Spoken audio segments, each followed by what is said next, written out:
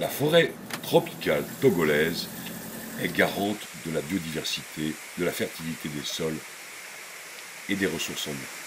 Cette forêt est en net recul. Le taux de déforestation atteint 6% par an. Les coupes sont effectuées sauvagement pour couvrir les besoins de la population en bois de chauffe, pour la fabrication du charbon de bois, ainsi que pour le bois d'œuvre. Elles ne cessent d'augmenter.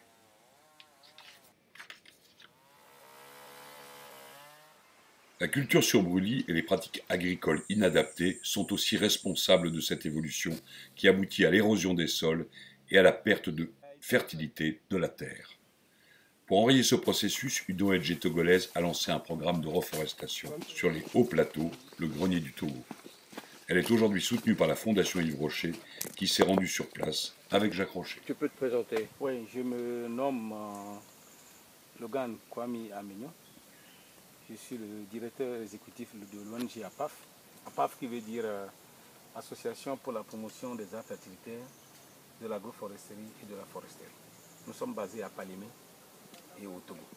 Ça fait combien de temps que tu as créé cette association? Oui, cette association elle est créée depuis 1991.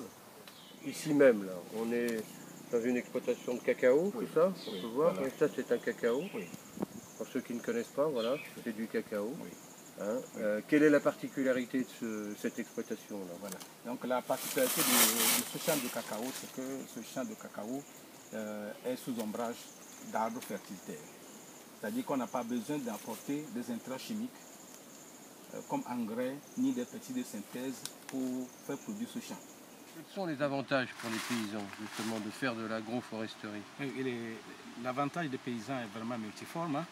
Euh, Ça permet d'augmenter la rentabilité, la qualité du cacao et des produits qui sont, qui, qui sont issus de ces techniques. Et euh, ça leur permet aussi d'avoir euh, du bois hein, comme euh, produit secondaire. Et aussi, ça leur permet de restaurer leur environnement et de garder la fertilité de leur sol. dans le pays, nous manquons beaucoup de reboisement. Donc nos champs sont pauvres. Et heureusement, M. Logan est venu parler aux villageois. Et nous tous très contents, on a accepté de faire la pépinière. Nous sommes euh, très contents. Ouais. Et alors dans le futur, ces petits arbres, ils vont aller où? Nous allons euh, soulever, aller planter dans nos champs propres. Tout le monde ici euh, possède un champ de cacao.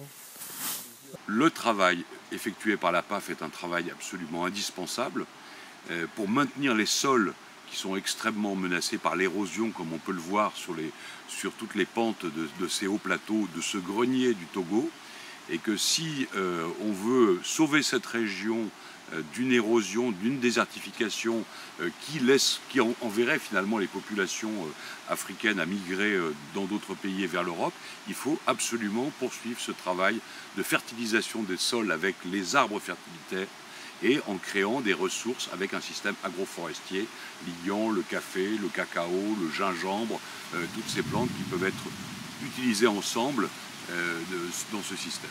C'est très important que la Fondation Yves Rocher s'associe à la PAF parce que nous sommes dans les mêmes thématiques. La Fondation euh, travaille pour la restauration de l'environnement et la plantation des arbres. Et euh, ce serait très important qu'on s'associe ensemble pour euh, promotionner cet aspect de l'agriculture, pour quand même le, bien-être du paysan togolais et, euh, et des populations- et de la population mondiale. Nous accordons beaucoup d'importance à cette initiative, car ces plans nous aideront à reconstituer nos forêts. Et je tiens à vous dire que vous êtes fantastique. Merci à vous. Merci.